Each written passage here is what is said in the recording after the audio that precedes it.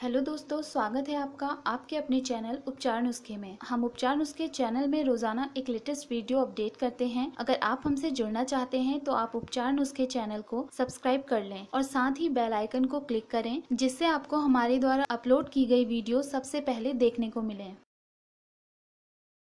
आठ जून 2020 गणेश चतुर्थी व्रत चंद्रोदय समय। ध्यान रखें, ये आठ खास बातें शास्त्रों के अनुसार संकष्टी चतुर्थी व्रत हर माह भगवान गणेश जी की विशेष कृपा पाने के लिए रखा जाता है। इस व्रत के प्रभाव से सभी लोगों के कष्ट दूर हो जाते हैं। संकष्टी चतुर्थी हर महीने की कृष्ण पक्ष और शुक्ल पक्ष की चतुर्थी तिथि को मनाई जाती है। इस व्रत में श्री गणेश जी की पूजा दोपहर के समय करने का विधान है। आज इस वीडियो में हम आपको आषाढ़ माह में आने वाली संकष्टी चतुर्थी व्रत की शुभ तिथि, पूजा का शुभ मुहूर्त, पूजा विधि, चंद्रोदय का समय और इस दिन सुख समृद्धि व धन प्राप्ति के लिए किन खास बातों का ख्याल आपको रखना चाहिए, इस बारे में बताएँगे। सबसे पहले बात कर लेते हैं संकष्टी चतुर्थी व्रत शुभ मुहूर्त 2020 साल 2020 में आषाढ़ माह में कृष्ण पिंगल संकष्टी चतुर्थी का व्रत 8 जून सोमवार के दिन रखा जाएगा। चतुर्थी तिथि प्रारंभ होगी 8 जून सात बजकर छप्पन मिनट पर। वहीं चतुर्थी तिथि समाप्त होगी 9 जून सायकाल सात बजकर अड़तीस मिनट पर। संकष्टी के दिन चंद्रोदय का समय होगा रात्रि नौ बजकर सत्तावन मिनट पर। संकष्टी चतुर्थी पूजा विधि। जो भी लोग संकष्टी चतुर्थी का व्रत रखते हैं, उन्हें प्रातः काल स्नान आदि के बाद व्रत का संकल्प लेते करते हुए दिन भर फलाहार और व्रत के नियमों का निष्ठा से पालन करना चाहिए। संकष्टी चतुर्थी की पूजा दोपहर में करने का विधान है, इसीलिए दोपहर में पूजा स्थल पर गणेश जी की प्रतिमा स्थापित कर सबसे पहले उन्हें चंदन का टीका लगा लें। पूजा के दौरान प्रसाद के तौर पर फल, फूल, चंदन, धूप, दीप, केला और मौसमी फल, साथ ही तिल व गुड़ के बने लड्डू भगवान गणेश जी को अर्पित करें। ध्यान रखें, आज के दिन पूजा में माँ लक्ष्मी जी की प्रतिमा भी ज़रूर रखें, क्योंकि गणपति जी की पूजा के दौरान माँ लक्ष्मी जी की पूजा शुभ मानी मानी जाती है। अंत में व्रत कथा पढ़कर गणेश जी की आरती कर पूजा संपन्न कर लें।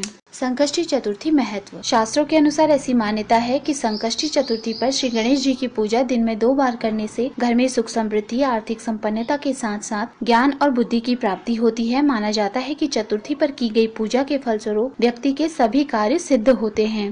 आज के दिन ध्यान रखें ये बातें। गणेश जी को सभी देवों में प्रथम पूज्य माना गया है। कहते हैं कि यदि उनकी आराधना के समय नियमों का सही ढंग से पालन कर छोटे छोटे उपाय सच्चे मन से किए जाएँ तो व्यक्ति को भगवान गणेश जी के आशीर्वाद से रिद्धि सिद्धि और मनोकामना पूर्ति का वरदान मिलता है। तो आइए जानते हैं चतुर्थी के दिन किन बातों का आपको खास ख्याल रखना चाहिए। संकष्टी चतुर्थी के दिन सुबह के समय पीले वस्त्र धारण कर भगवान गणेश जी के समक्ष घी का चौमुखी दीपक जलाना चाहिए। गणेश जी की पूजा के साथ ही आज के दिन माँ लक्ष्मी जी का पूजन भी ज़रूर करना चाहिए। संकष्टी चतुर्थी के दिन भगवान श्री गणेश जी को दूरवा ज़रूर चढ़ाएँ। ध्यान रखें कि भगवान गणेश जी की पूजा में उन्हें तुलसी दल नहीं चढ़ानी चाहिए। यूँ तो सुबह का समय भगवान श्री गणेश जी की पूजा के लिए श्रेष्ठ माना गया है, लेकिन आज के दिन सुबह, दोपहर और शाम तीनों ही वक्त भगवान श्री गणेश जी का पूजन करना शुभ होता है। तुलसी को छोड़कर किसी भी तरह के फूल भगवान गणेश जी को अर्पित किए जा सकते हैं। आज के दिन सिंदूर भगवान गणेश जी को अर्पित करना शुभ होता है। यदि तीनों समय की पूजा संभव न हो तो सुबह ही पूरे विधि विधान से श्री गणेश जी की पूजा की जा सकती है। कहा जाता है कि इस तरह नियमों और विधि विधान के साथ की गई पूजा भगवान सदैव स्वीकार करते हैं और भक्तों की हर मनोकामना पूरी कर उन्हें समस्याओं से बाहर निकालते हैं।